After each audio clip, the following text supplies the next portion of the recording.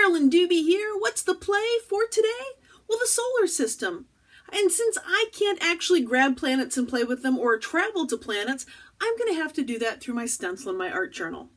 So you're going to see me build this. I'm going to share with you some tips and tricks for how I use stencils and how I get crisp, clean lines. Well, I've got my stencil solar system here on the paper, and I'm using a cosmetic sponge with the paints. These are some of the Dylusions paints. Part of the reason why I'm using a cosmetic sponge is that helps me control how much paint I'm using. So if I want to get a really crisp, clean line on my stenciling, the trick is use a small amount of paint and something like a cosmetic sponge helps me use that small amount of paint. You'll notice I'm really pouncing it off. I'm also using an up and down motion.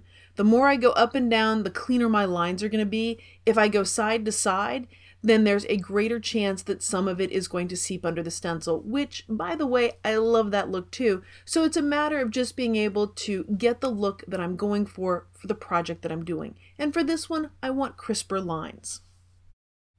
On the left side of the page, I put a little bit of repositionable tape, and that holds the stencil in place. I do that sometimes, and sometimes I don't. It just depends on my mood in the day. Well, now I'm going to put a second color on here.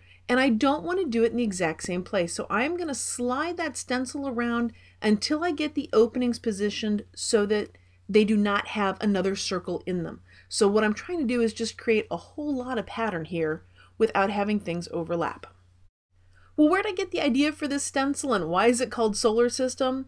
It's called Solar System because it's kind of my sort of abstracty modern interpretation of planets and definitely not just the nine in our solar system, but planets that, you know, exist anywhere in the imagination or in real life.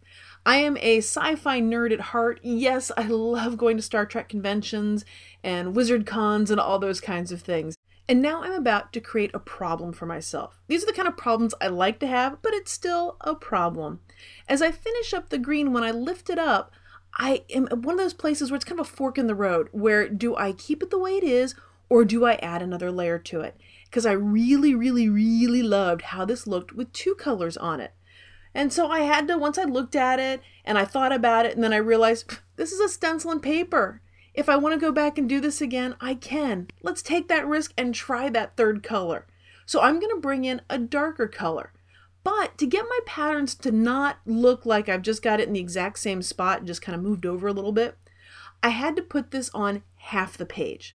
Now, of course, I want some of that blue on the upper part of the page too, so stay tuned because I'm going to show you my easy trick for how to continue on the pattern without having to work very hard at it at all.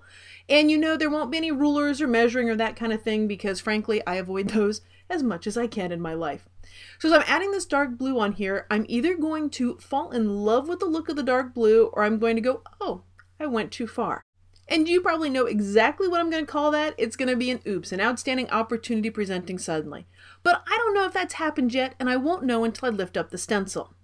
And we're getting closer. There's just one line of little planets and orbits and that kind of thing to go, and then we'll see if I pushed this too far or not.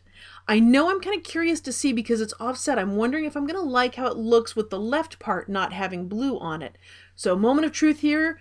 I'm going to quit fiddling with this and making sure I've got blue everywhere and lift up the stencil and see if I like how it looks. And I do like it. So I'm going to use what I already have, which is the blue line stenciled, and I'm going to put the stencil on top of it. That way I can get an idea of, basically so I make sure it's straight.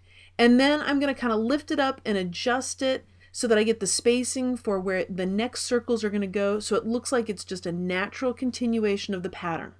You can find this stencil and all my stencils over at Stencil Girl Products. And of course, if you'd like to see more of what I'm doing, I'd love it if you popped over to my website at acolorfuljourney.com.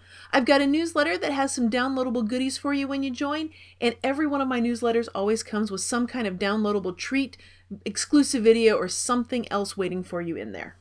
As I finish up the blue here, I just want to say a great big thank you to you for joining me for today's play. It's always fun to create when you have friends with you. Okay, so moment of truth, here's what it looks like with all the blue on it.